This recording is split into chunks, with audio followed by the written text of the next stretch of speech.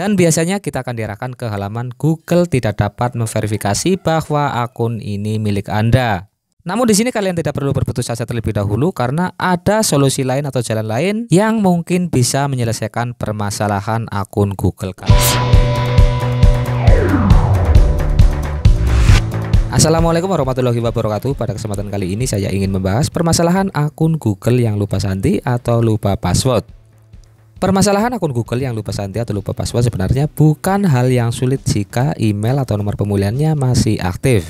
Namun lain cerita jika nomor pemulihan atau email pemulihan sudah tidak aktif maka kita akan terkendala untuk memulihkan akun tersebut. Jika kita memulihkan akun Google yang lupa santi dan nomor pemulihan atau email pemulihannya sudah tidak aktif, maka kita biasanya akan mentok pada halaman Google tidak dapat memverifikasi bahwa akun ini milik Anda.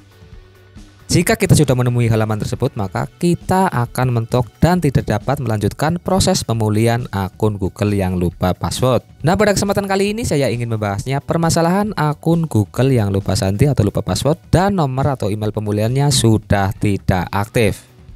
Namun sebelum ke tutorialnya, saya ingin menyampaikan bagi kalian yang akun Facebooknya sedang terkunci oleh sesi new, untuk saat ini saya belum bisa membuat tutorialnya karena proses untuk membuat tutorial sedang berlangsung atau sedang dalam proses tahap demi tahap.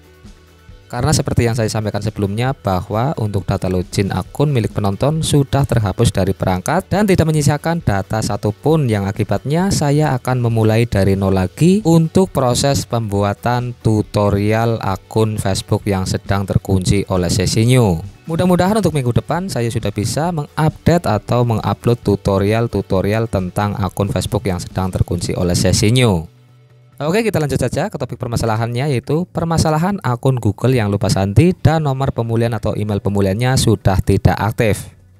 Jika kita sedang menghadapi permasalahan akun Google yang lupa password untuk pertama-tama, di sini kita gunakan saja aplikasi Google Chrome untuk melakukan proses pemulihan. Namun di sini saya sarankan jika memungkinkan kalian gunakanlah aplikasi Google Chrome yang pernah kalian gunakan untuk login ke akun Google tersebut. Dan jika memungkinkan juga, kalian gunakanlah perangkat yang pernah kalian gunakan untuk login ke akun Google tersebut. Karena hal tersebut akan mempermudah proses pemulihan akun Google yang sedang lupa password. Namun jika ternyata pada kasus kalian tidak bisa melakukan hal tersebut, kalian gunakanlah perangkat seadanya namun kalian gunakan aplikasi Google Chrome. Oke kita lanjut. Kita buka saja aplikasi Google Chrome. Kemudian pada sidebar kita tuliskan saja google.com spasi akun. Kemudian untuk selanjutnya di sini kita klik saja tombol masuk. Pada halaman hasil pencarian Google di sini kita pilih saja Google akun. Kemudian pada halaman seluruh Google bekerja untuk Anda, di sini kita klik saja buka akun Google yang ada di sebelah kanan bagian atas. Kemudian pada halaman berikutnya di sini kita klik saja icon profil Google. Kebetulan untuk aplikasi Google Chrome saya sedang login ke akun Google lain. Di sini kita klik saja profil dari akun Google kita. Di sini kita klik. Kemudian pada jendela baru di sini kita scroll ke bawah dan kita klik tombol kelola akun. Kemudian pada halaman berikutnya di sini kita pilih saja atau kita klik saja tulisan kelola akun di perangkat ini. Dan setelah itu di sini kita baru klik tombol tambahkan akun ke perangkat.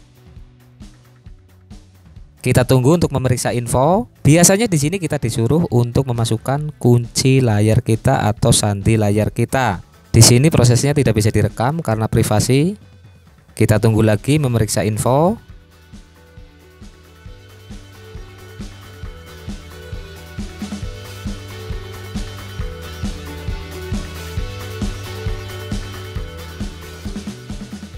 Dan selanjutnya kita akan diarahkan ke halaman login akun Google. Di sini kita masukkan saja email atau akun Google yang akan kita pulihkan. Setelah itu di sini kita tinggal klik tombol berikutnya. Jika pada browser kalian disuruh untuk mengisi captcha di sini kita isikan saja sesuai dengan yang ada di atasnya.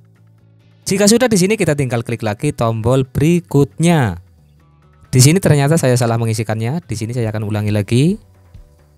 Klik tombol berikutnya.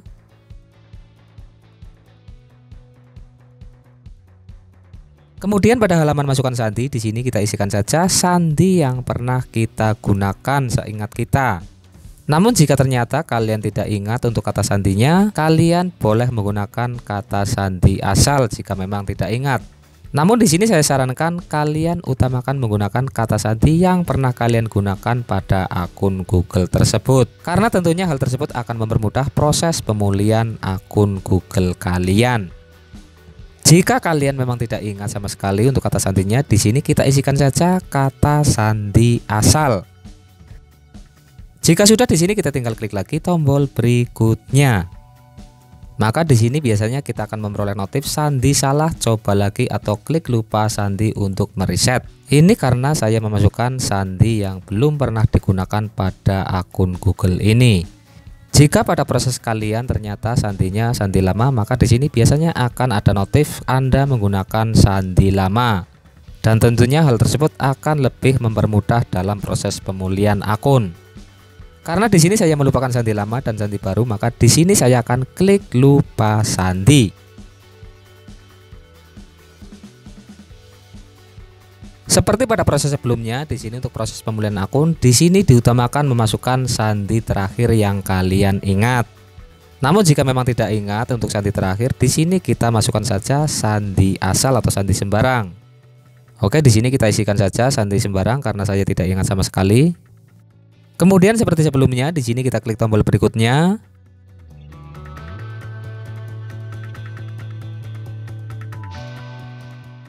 Dan biasanya kita akan diarahkan ke halaman Google tidak dapat memverifikasi bahwa akun ini milik Anda.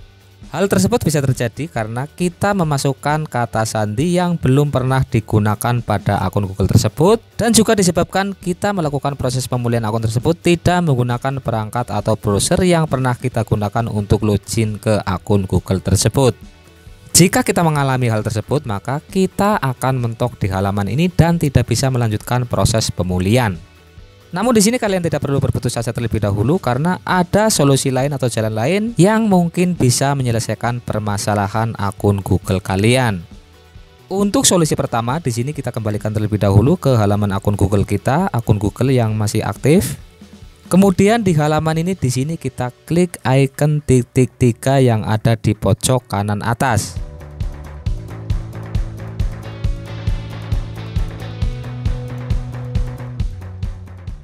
Kemudian pada halaman setelan di sini kita coba klik tulisan sandi. Kemudian untuk langkah berikutnya di sini kita tinggal mencari akun Google kita, akun yang sedang lupa password. Di sini kita cari saja akun Google yang sedang lupa password. Di sini kita scroll ke bawah. Kita cari terus akun Google yang dimaksud. Ternyata di sini untuk akun Google yang dimaksud atau akun Google yang sedang lupa password di sini tidak ada atau tidak tercantum. Kemudian jika hal tersebut terjadi pada kalian, kita masih punya solusi lain. Untuk solusinya seperti ini. Di sini kita membutuhkan aplikasi Google Chrome Dev. Oke, di sini kita langsung perhatikan saja. Kita buka Play Store untuk mengunduh aplikasi Chrome Dev. Kita ketikkan saja Chrome Dev.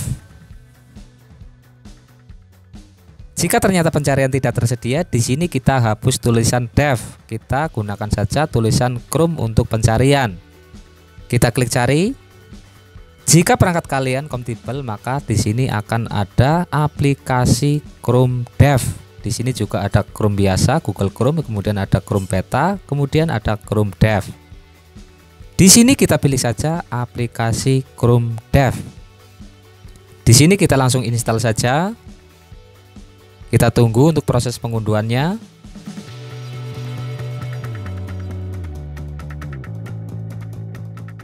Di sini untuk aplikasinya cuma berukuran 42 MB.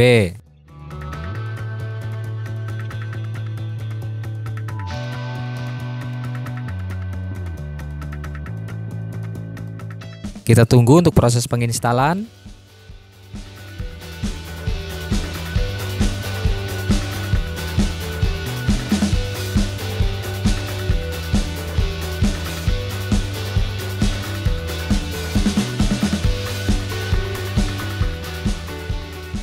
Jika proses penginstalan sudah selesai, di sini kita tinggal klik tombol buka untuk membuka aplikasi tersebut. Kemudian di sini kalian jangan lupa untuk menceklis bagian bantu penyempurnaan Chrome dengan mengirimkan statistik pengguna dan laporan error ke Google. Di sini kita checklist. Kemudian untuk langkah berikutnya di sini kita tinggal klik tombol terima dan lanjutkan. Kemudian pada halaman aktifkan sinkronasi di sini kita pilih akun Google yang pernah di login bersama dengan akun yang akan kita pulihkan. Di sini saya perjelas lagi, kalian harus menggunakan akun Google yang pernah di login bersama-sama dengan akun yang sedang lupa password. Mudah-mudahan kalian bisa memahami. Di sini kita pilih saja akun Google yang pernah di login bersama satu perangkat dengan akun Google yang sedang lupa password. Jika sudah untuk selanjutnya di sini kita tinggal klik ya saya setuju. Di sini kita klik saja tombolnya. Kemudian pada halaman berikutnya di sini kita tunggu sebentar hingga proses sinkronasi selesai. Jika proses sinkronasi sudah terselesaikan, di sini kita tinggal klik icon titik tiga bagian kanan atas. Kemudian pada halaman berikutnya di sini kita tinggal klik tulisan sandi. Dan di sini kita tinggal mencari akun Google yang kita maksud atau akun Google yang sedang lupa password. Ternyata di halaman ini untuk akun Google yang saya maksud atau akun Google yang sedang lupa password di sini tercantum atau tersedia yang artinya kita bisa melihat kata sandi atau password akun Google tersebut. Di sini kita tinggal klik pilih akun Google yang kita maksud. Kemudian kita tinggal klik icon mata untuk melihat passwordnya dan kita bisa klik icon salin untuk menyalin dari kata sandi tersebut. Oke sekian tutorial kali ini mudah-mudahan bermanfaat dan wassalamualaikum warahmatullahi wabarakatuh